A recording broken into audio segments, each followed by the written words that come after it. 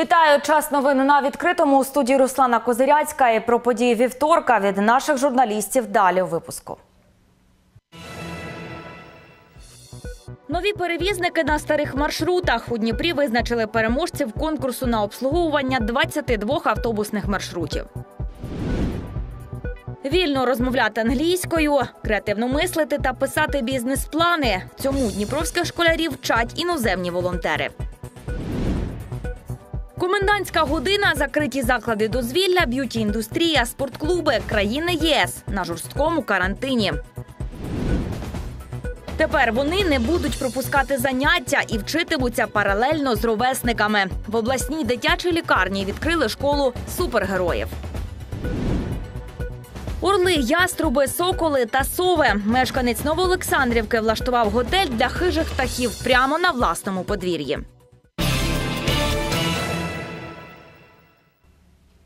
І про це та інше більш детально. Борис Філатов знову мер. Міська територіальна виборча комісія оголосила результати виборів міського голови Дніпра.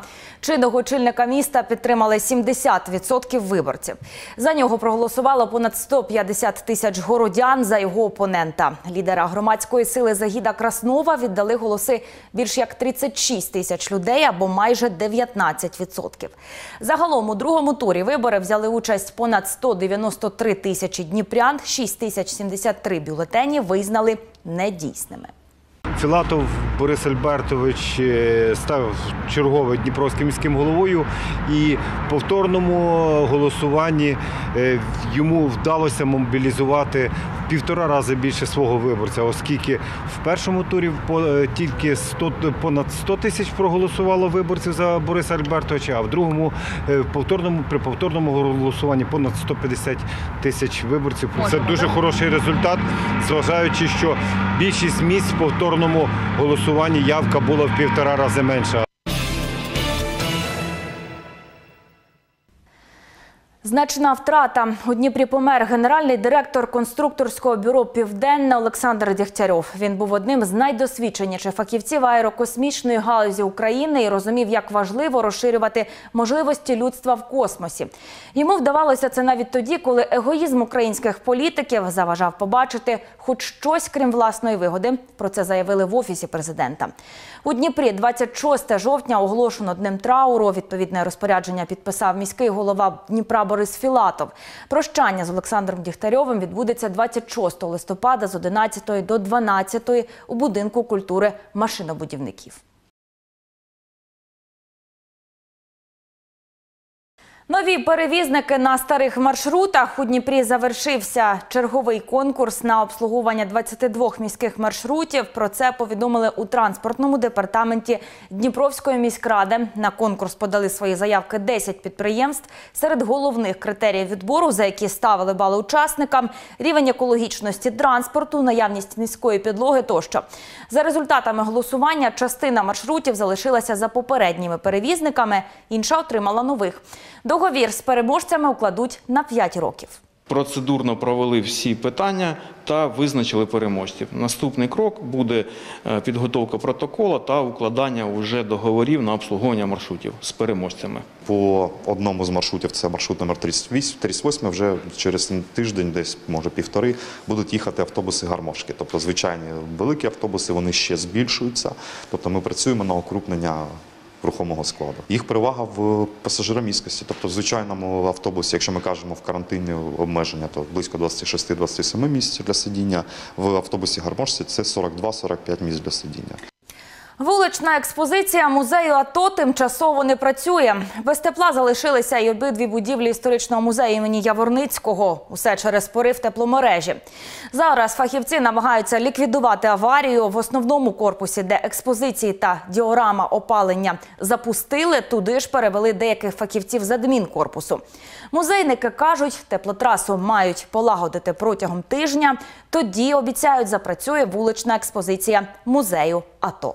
Городские тепловые сети нам помогают в этом вопро- в решении этой проблемы. И они приезжали в субботу, была тут в субботу техника, дали тепло только на вот это вот здание, то есть 16 здание работает, и сама диорама работает. Стараемся в ближайшую неделю это все сделать, потому что иначе там меняются погодные условия, чтобы не разморозить окончательно здание. То здание у нас административное, там по возможности, э, как смогли, отпустили людей работать э, дистанционно.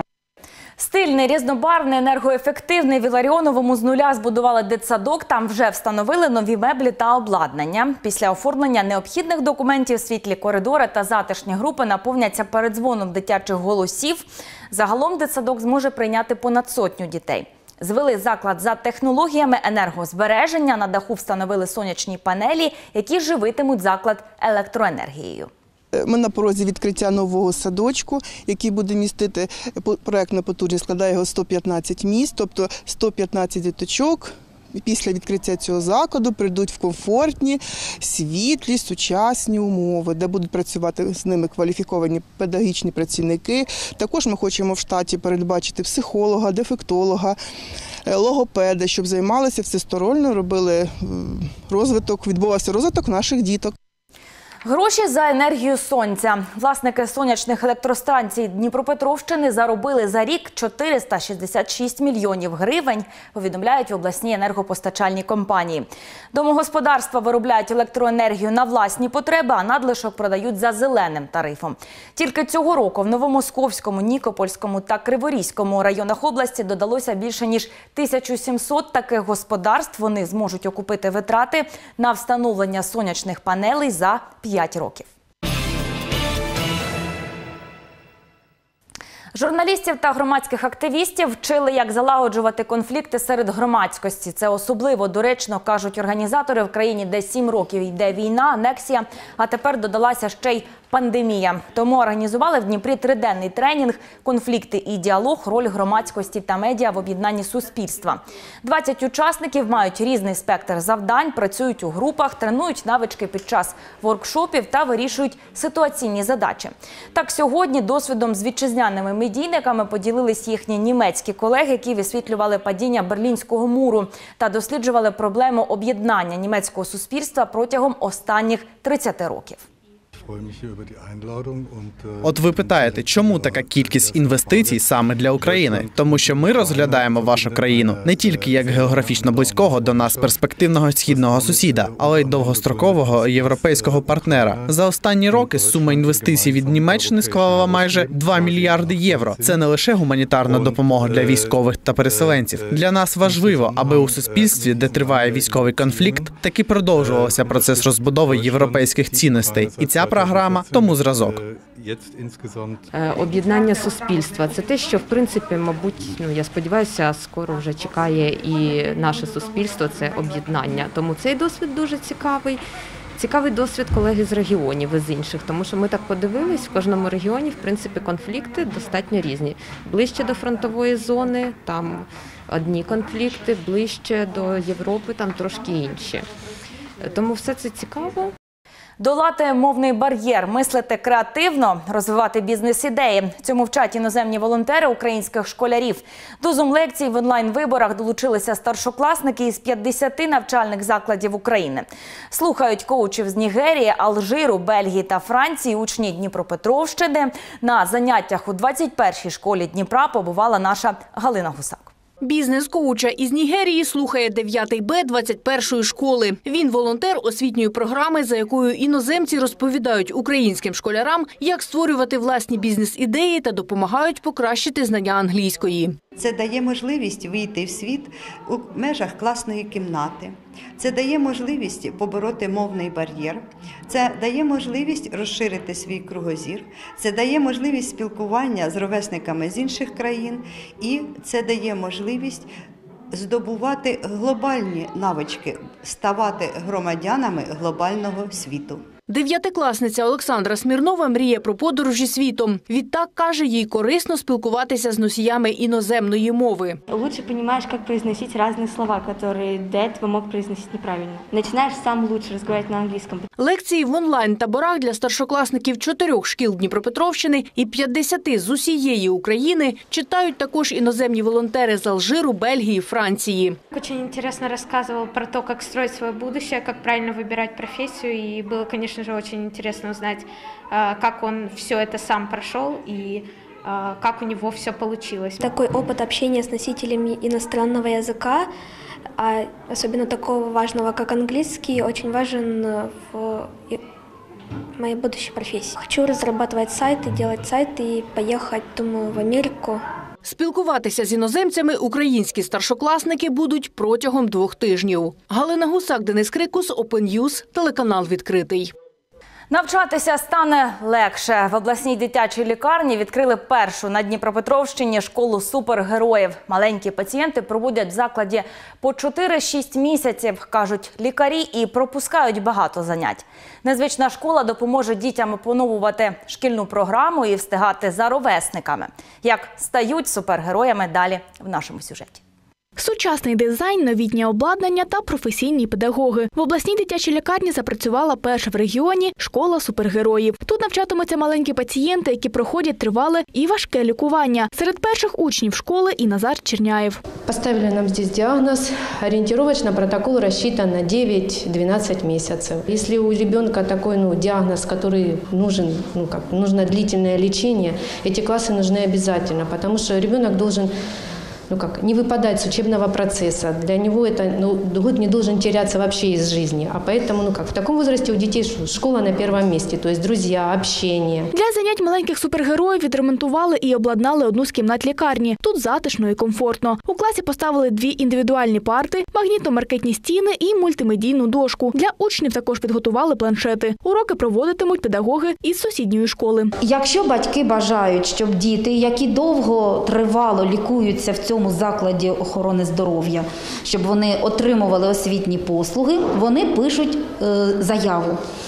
Е, і обов'язково питають в лікаря, чи можливо дітям, чи в змозі вони отримувати освітні послуги фізично. І е, якщо лікар надає нам дозвіл такий, то ось наш заклад заключив договір з цим закладом е, медичним, і ми приходимо і дітей навчаємо. За словами директора лікарні Олексія Власова, в онкологічному та онкогематологічному відділеннях їхні маленькі пацієнти можуть проводити по 4-6 місяців. В середньому протягом року тривале лікування в них проходять десь півсотні дітей шкільного віку. Раніше вони пропускали заняття. Зараз можуть опановувати шкільну програму просто на своїх лікарняних ліжках и вчитися параллельно с ровесниками. У нас были раньше воспитатели в больнице, которые могли заниматься с этими детьми, но это были не преподаватели. А зараз це буде повноцінне образування для детей, а не только образование детей в классе, но и возможность э, онлайн дистанционного обучения этих детей, когда они находятся в своей палате, і індивідуальні заняття з кожним дитином в палате при возможности по медицинским показаниям. Школи супергероїв в медзакладах, де лікарюють тяжких маленьких пацієнтів, ще донедавна діяли в кількох лікарнях Київської, Херсонської та Житомирської областей. Тепер до них долучилася і Дніпропетровщина. Це освітній проєкт всередині лікарні. Е, Десь ми півмільйона гривень витратили на обладнання е, цього класу. Е, Також е, ще скоро відкриється три додаткові класи. Всього в цьому році в Дніпропетровській області з'явиться чотири класи, чотири школи супергероїв. І ми продовжимо цей проект у 2021 році. Незабаром школу супергероїв відкриють в обласній лікарні фтизіатрія та Криворізькому протитуберкульозному диспансері. Дар'я Пшенична, Денис Крикус, Open телеканал відкритий. Гривня не падатиме, долар скуповувати не треба. Про це заявляють фінансові експерти. За їхніми даними, економічних передумов для піке української національної валюти немає. Тому, попри економічну, політичну та коронакризи, гривня тримає позиції. Все через те, що й світова економіка також у стані стагнації. Тож наші гроші навіть укріплюватимуться, переконують фінансисти. курс 29 до кінця року ми витримаємо. От, по-друге, перше півріччя завжди історично воно е, йде на укріплення національної валюти. Тому, е, можливо, якщо будуть якісь проблеми з національною валютою, вона вже буде ближче вже до осені наступного року. Загинув у вогні. У Самарському районі Дніпра сталася пожежа, яка забрала життя 36-річного чоловіка. За словами рятувальників, зайнялося в одній із кімнат одноповерхового житлового будинку. Вогонь знищив дві кімнати, покрівлю будівлі та домашні речі. Загоряння приборкували 10 вогнеборців та дві пожежні машини. Загасити полум'я вдалося за годину. Електрошокер у дії. Начальник департаменту патрульної поліції України Євген Жуков випробував на собі новий електрошокер. Його, за словами Жукова, використовують силовики у більш ніж 100 країнах світу, і він є безпечним при затриманні злочинців. Ризик нанести шкоду мінімальний. Використання пристрою схвалило Міністерство охорони здоров'я. І те, що апарат безпечний, головний патрульний України продемонстрував на собі. Відео опублікувала прес-служба відомства. Один з асистентів вистрілив у спину Жукову з електрошокера. Через кілька секунд заціпеніння поліціянт все ж піднявся. Тейзер автоматично записує час, місце та тривалість кожного використання та зберігає цю інформацію. Сьогодні це безпечний спосіб зупинити правопорушника з мінімальним ризиком заподіяти шкоди йому та поліцейському. Я зараз протестую його на собі. Будь ласка.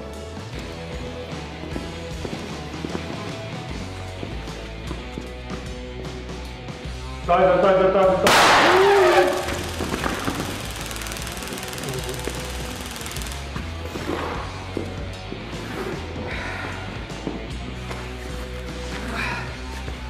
Це було доволі неприємно, але я цілий та здоровий. За минулу добу на Дніпропетровщині виявили 952 випадки коронавірусу. Найбільше недужих в обласному центрі, Кривому Розі та Нікополі. Повідомляють в обласному департаменті охорони здоров'я. З початку пандемії хворобу діагностували більш ніж у 30,5 тисяч людей. Ковідні ліжка в госпітальних базах регіону завантажені наполовину. В Україні за попередню добу підтвердили понад 12 тисяч нових заражених. Ліжка для ковідних хворих зайняті на 50%, говорять у МОЗ. Є певні проблеми в деяких регіонах з вільними місцями. Кількість ліжок, які на сьогоднішній день вже введені е, під лікування хворих на COVID-19 в країні складає 53 тисячі 445 ліжок. Заповненість ліжок складає на рівні 52%. Європа на жорсткому карантині. Кількість інфікованих та летальних випадків від ковід зростає щодня. У Німеччині закриті всі підприємства, дозвілля, ресторани, кафе, спортклуби та заклади б'юті індустрії. У Франції запровадили комендантську годину. Дозволили гуляти на вулиці лише 60 хвилин щодня, а виходити з дому лише зі спеціальним дозволом. Як протистоять коронавірусу у країнах ЄС? Про це з перших вуст у матеріалі Вікторії Вахрушиної.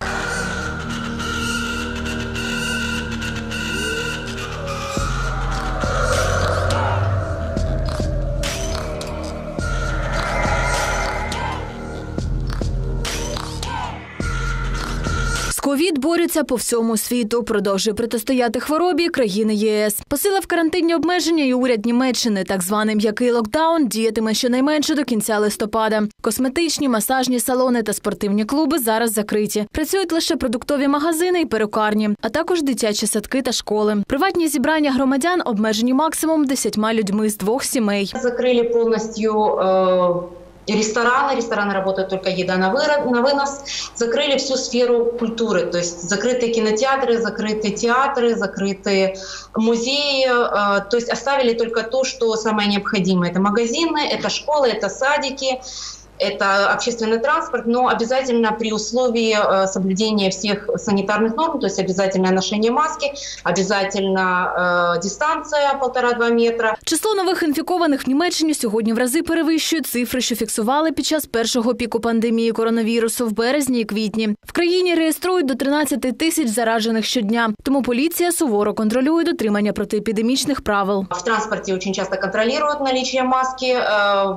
ходит тоже полиция на улицах, в общественных местах контролирует, и штраф довольно-таки ощутимый, 250 евро, как бы не каждый готов платить за отсутствие маски. Значні штрафи за недотримання карантину і у Франції. Також в Україні з 21 години до 6 діє комендантська година. Будь-які святкування, масові зібрання та вечірки заборонені. Мешканців закликають обмежити зустрічі в приватних будинках до шістьох людей. Гуляти можна лише годину щодня в радіусі одного кілометру від дому. Головне при кожному виході на вулицю мати при собі спеціальну довідку. Ми можемо пересуватися лише з дозволом. Така спеціальна атестація. Ми її заповнюємо, і ми можемо відвідувати хворих, ходити в лікарню, працювати або відвідувати е, інвалідів. І також е, зараз, якщо я працюю, то мені мій роботодавець дав спеціальний теж дозвіл на переміщення. Без нього я не можу переміщатися. Е, Тобто, якщо мене зупин- зупинять поліція, то я мушу заплатити 135 євро.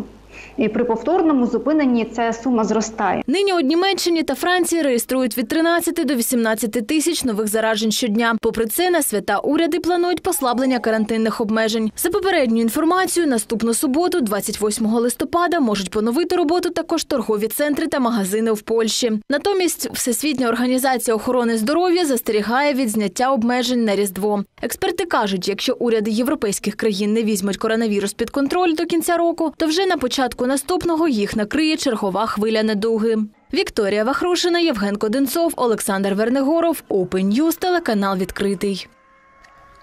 А тим часом двотижневий локдаун на новорічні свята пропонує запланувати міністр культури Олександр Ткаченко. Все заради того, щоб на Різдво та Новий рік уникнути масових заходів. За словами міністра, останніми днями добова кількість інфікованих коронавірусом знизилася, але подальша ситуація має бути прогнозованою. Тому радить зустріти свята в режимі онлайн. До жорсткого карантину закликають і у Всесвітню організацію охорони здоров'я. кажуть, пом'якшувати обмеження на новорічні і різдвяні свята не варто. Це може спровокувати новий сплеск захворюваності. Концерти та передноворічні заходи тим часом планують у Дніпрі з 21 по 25 грудня у різних районах міста. Перед дніпрянами виступатимуть різні творчі колективи, артисти та музиканти. Все в рамках культурного проєкту Народна філармонія. Заходи планують на будні дні. На організацію свят витратять більше ніж 890 тисяч гривень. Під час святкових концертів глядачі можуть отримати подарунки, набори цукерок.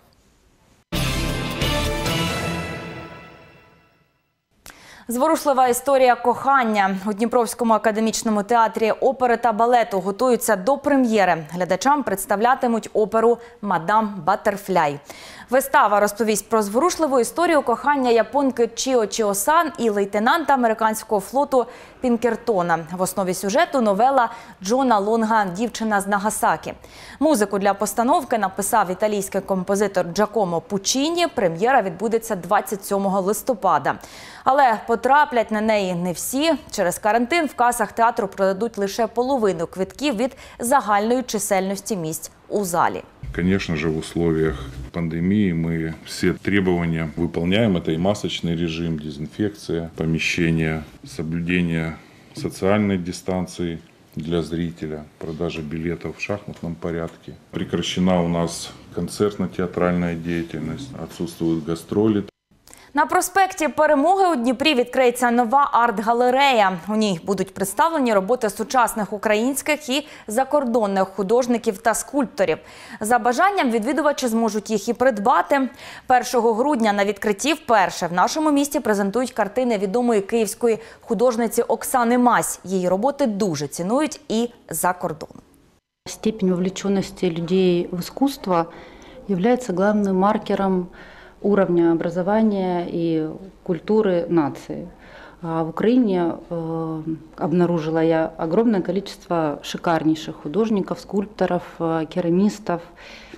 А, И э, моя задача состоит в том, чтобы внести хотя бы маленькую лепту в развитие украинского арт-рынка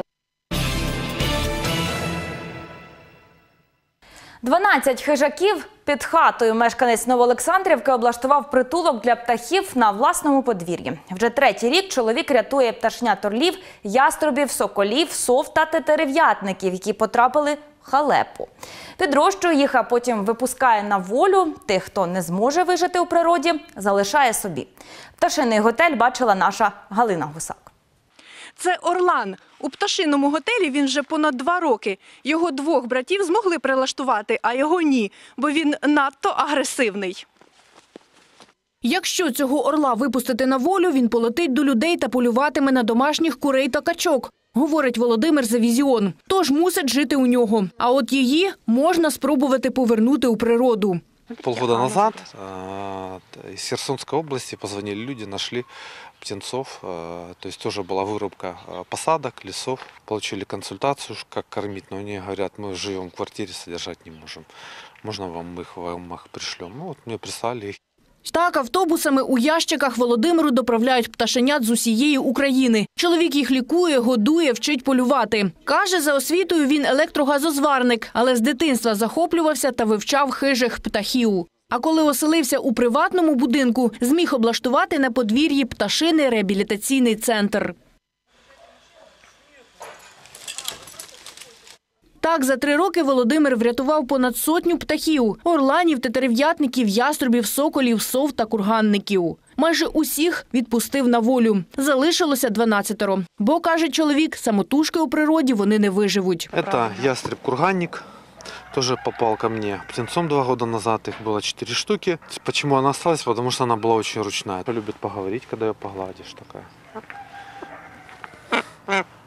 Із птахами Володимиру нині допомагає дружина. А от із попередньою через них, зізнається, довелося розлучитися. Незвичайне хобі обходиться недешево. За добу птахи з'їдають 4 кілограми заморожених курчат. Відтак, щоб приготувати їх, витрачає по пів тисячі гривень щодня. Коли зграє більше, то і витрати зростають, говорить чоловік. Він заробляє із інтернет-продажів. Тож, каже, на порятунок улюбленців вистачає. Галина Гусак, Олександр Верногоров, Open News, телеканал відкритий.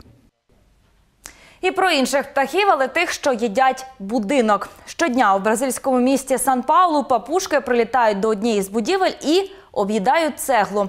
У ній виявляється потрібні їм мікроелементи, тому до багатоповерхівки злітаються цілі зграї. Існує ще одна версія: так птахи точать свої дзьоби. Пернаті поводяться так голосно, що місцеві скаржаться на постійний галас. Попри все, дім став місцевою пам'яткою, і чимало жителів не хоче звідси переїжджати. У Дніпрі білки такі голодні, що виходять в кадр до людей. Про це жартують мешканці мережі Фейсбук і в якості доказу публікують мімімішні відео. У парку Пісаржевського в годівниці для рудих пустунок встановили камери. Пухнасті актриси не просто підкріпилися гостинцями, а ще й вміло позували в об'єктив.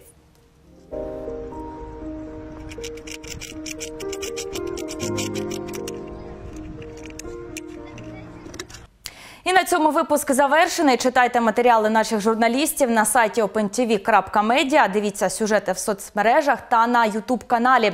А якщо маєте цікаву новину, телефонуйте на гарячу лінію за номером 068 123 48 54. Залишайтесь відкритим і до нових зустрічей у ефірі.